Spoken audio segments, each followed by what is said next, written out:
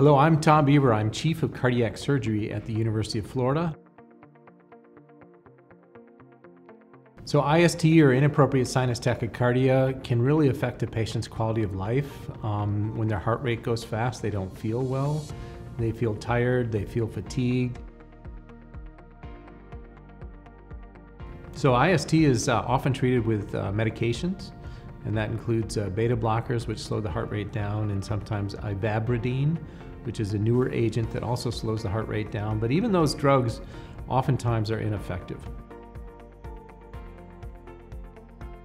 The HEAL IST trial is a clinical trial or a study by doctors where we're um, evaluating a new treatment for inappropriate sinus tachycardia.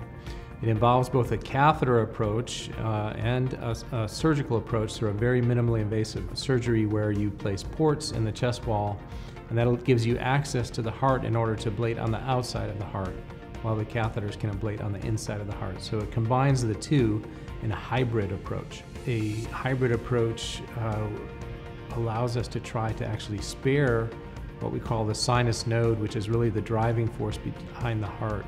I'm passionate about treating IST because it can really be a life-changing event.